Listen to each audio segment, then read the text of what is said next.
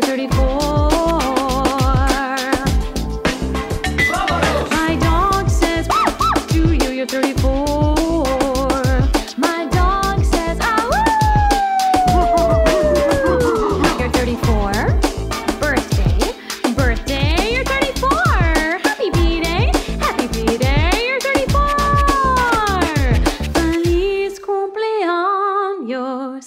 before, yeah.